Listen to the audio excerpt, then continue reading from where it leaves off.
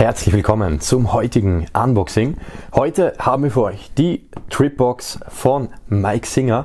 Alle weiteren Informationen zu diesem Album, der Tracklist und dem Boxenhalt, sowie natürlich auch die Links zum Album und zur Box findet ihr wie immer unter diesem Video in der Videobeschreibung. Trip von Mike Singer. Das Ganze erscheint morgen am 12. April.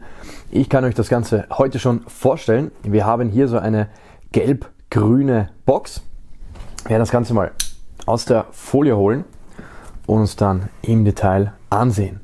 So, einmal einschneiden, quer durch und dann machen wir die Folie mal ab. So, also wir haben hier eine quadratische, eher flache Box, komplett in diesem gelb-grün-Ton gehalten. Hier rechts lesen wir Mike Singer, darunter Trip mit einem umgekehrten R. Und links haben wir dann den Interpreten mit einem Hoodie und einer Jeansjacke. So sieht das aus. Dann haben wir hier die Seite glatt. Hier lesen wir Interpret plus Albumtitel. Hier wieder glatt. Und hier Interpret plus Albumtitel. Auf der Rückseite haben wir die Inhalte aufgelistet, die sich in der Box befinden. Was lesen wir hier?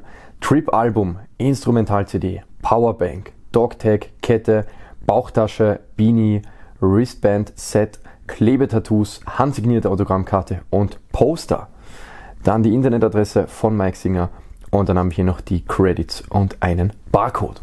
Gut, das Ganze ist eine Box, bei der der Deckel abnehmbar ist, also keine reguläre Klappbox, sondern man kann den Deckel wirklich abnehmen.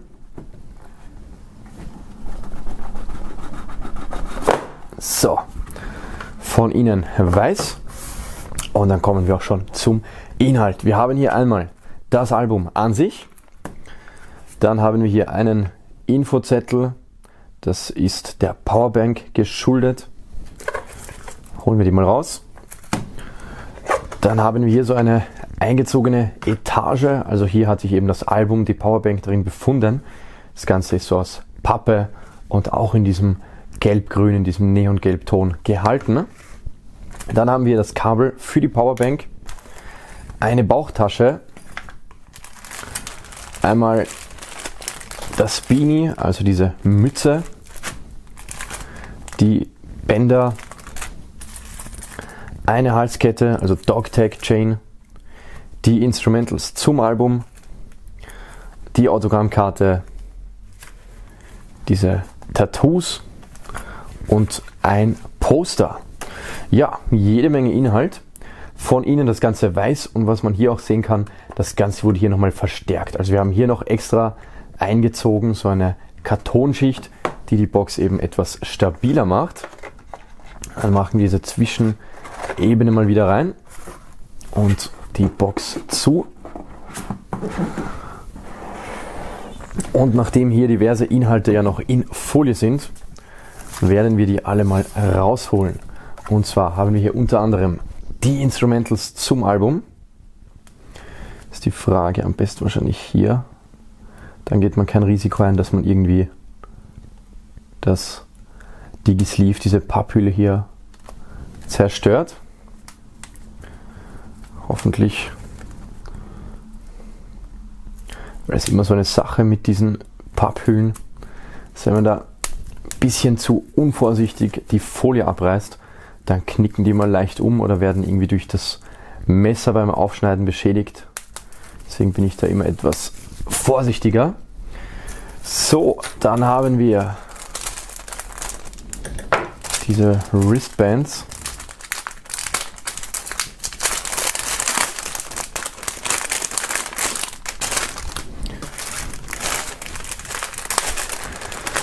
Ja, Umweltpreis gewinnt diese Box wahrscheinlich keinen bei dem ganzen Plastik und Verpackungsmaterial, aber das ist ja häufig so, dass hier wirklich jeder einzelne Boxinhalt nochmals foliert ist.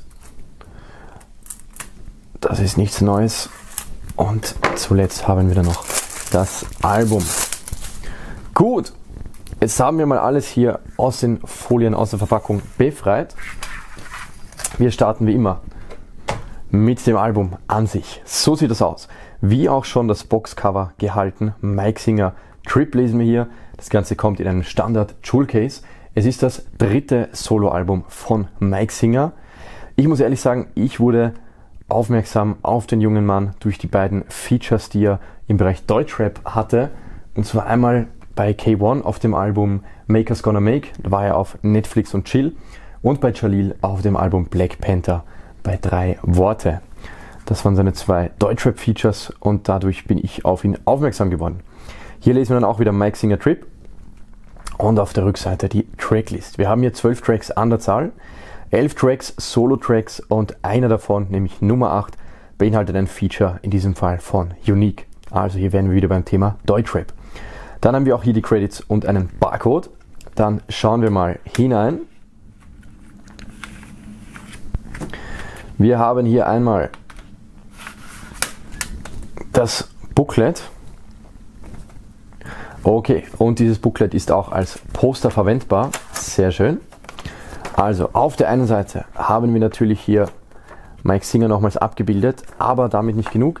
Wir haben hier wirklich Track für Track, Wort für Wort abgedruckt. Sehr schön. Das gefällt mir immer gut. Da kann man dann die Texte mitlesen oder nachlesen.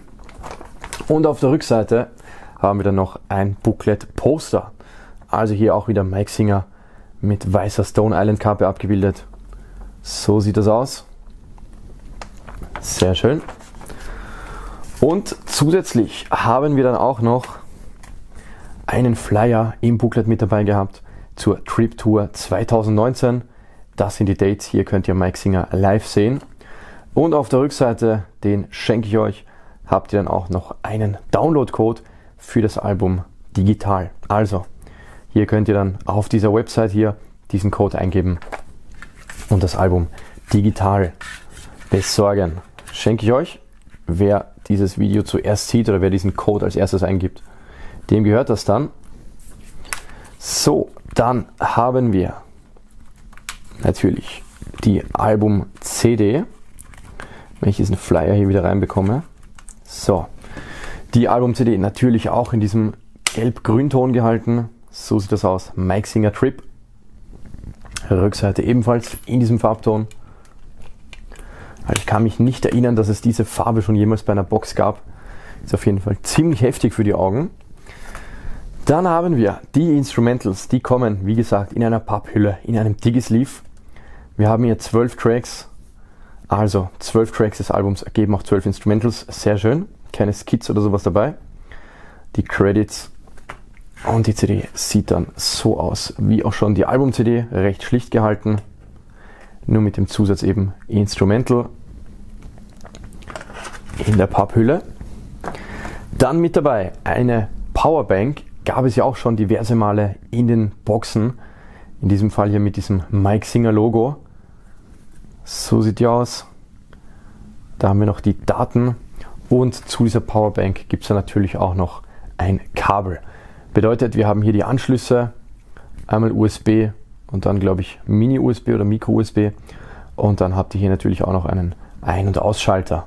Also die Powerbank kann nun geladen werden und dann mit Hilfe dieses Kabels also mit Hilfe dieses Adapters, USB-Adapters, könnt ihr dann natürlich auch euer individuelles Kabel des Handys anstecken und dann euer Handy aufladen oder euer iPad, was auch immer. Dann haben wir eine Bauchtasche mit dabei, diese ungewöhnlicherweise recht schlicht in schwarz gehalten, also genug mit diesem Neon gelb, gelb-grün, diese wirklich schlicht in schwarz und weiß gehalten. Ist eine klassische Bauchtasche. Wir haben hier auf der Vorderseite ein großes Fach mit Reißverschluss so sieht das hier von innen aus. Also ganz schlicht. Und hier dann auch wieder das Mike Singer Logo. Dann haben wir hier noch einen Gurt. Und den kann man dann natürlich hier entsprechend Größen verstellen, je nachdem, ob man es über die Schulter oder wirklich um den Bauch tragen möchte. Und dann haben wir hier noch so eine Kunststoffschließe, mit der das Ganze dann zugemacht wird. Jawohl. Dann haben wir ein Kleidungsstück mehr oder weniger und zwar eine Mütze, ein Beanie. Dieses ist so in mittel- bzw. dunkelgrau gehalten. Auf der Seite haben wir so einen Aufnäher, hier wieder in diesem Gelbton, das Mike Singer Logo. Ansonsten hier nichts weiter zu sehen. Und wir haben es hier zu tun mit 50% Baumwolle und 50% Polyester. Warner Music Group Germany und das Ganze ist Made in Turkey. Grüße gehen raus. Und dann kommen wir auch schon zum nächsten Inhalt. Wir haben hier eine Autogrammkarte mit dabei. Hier Mike Singer an einem Fahrzeug lehnend. Schwarze Unterschrift hier Mike mit einem Herzchen Singer. Dieses Outfit kennen wir schon von dem Poster-Booklet. Da wurde scheinbar auch dieses Foto aufgenommen. Rückseite blank-weiß. So muss das sein. Dann haben wir etwas sehr Ungewöhnliches. Und zwar haben wir hier drei solche Bänder mit dabei. Also, ich glaube, die sind am ersten dafür gedacht, um sie euch hier ums Handgelenk zu machen. Also sowieso Konzertbändchen, so wie EP-Bändchen. In drei verschiedenen Varianten. Einmal in schwarz-weiß, einmal in schwarz-gelb und einmal in diesem grau bzw. silber-gelb. Also je nachdem, welches Band euch am besten gefällt, könnt ihr das natürlich tragen oder ihr macht alle drei drauf. Und dann lesen wir hier noch 60% Nylon, 40% Elastan. Gut, so viel dazu. Dann haben wir Klebetattoos in einem quadratischen Bogen.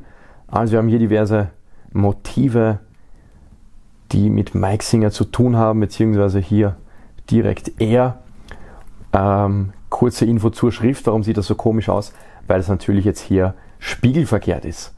Also wenn ihr das Ganze dann aufbringt auf eure Haut und so dann hier draufklatscht, dann ist das natürlich dann richtig. Also dann steht dann hier auch Trip oder Mike Singer Trip. Das nur kurz zur Info. Hier auf der Rückseite haben wir dann noch die Erklärung, wie das Ganze läuft. Ich glaube, jeder von euch weiß, wie man solche Sachen verwendet. Wenn nicht, lest euch diese Gebrauchsanleitung durch. Ich erspare euch die an dieser Stelle.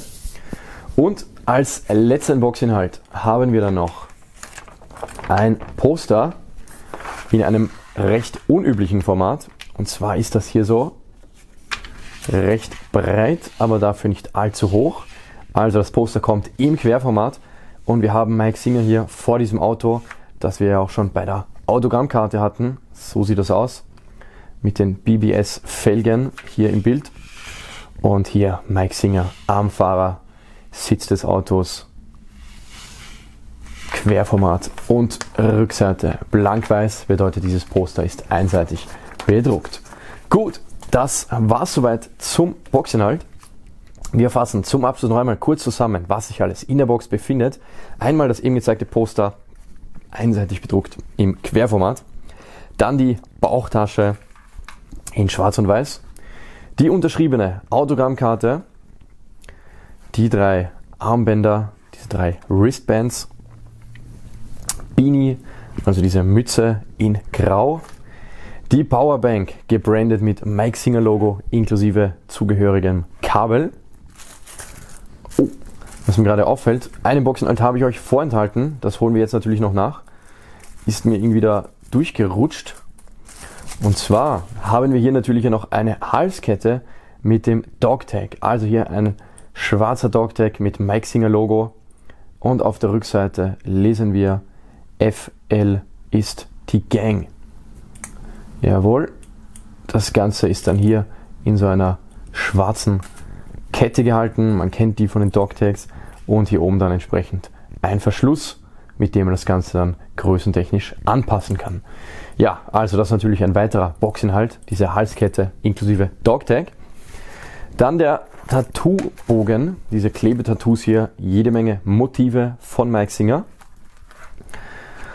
Die Instrumentals zum Album in der Papphülle, zwölf Stück, sowie natürlich auch das Album an sich, Trip, im Standard Jewel inklusive zwölf Tracks. Jawohl. Das alles in dieser wunderbaren Box Trip von Mike Singer. Mich würde natürlich interessieren, was haltet ihr von dem Album bzw. der Box? Schreibt es in die Kommentare und wenn ihr die Musik feiert, falls ihr Mike Singer unterstützen möchtet, dann findet ihr die Links dazu unter diesem Video in der Videobeschreibung. Das war's für heute. Bis zum nächsten Unboxing. Passt auf euch auf. Ciao.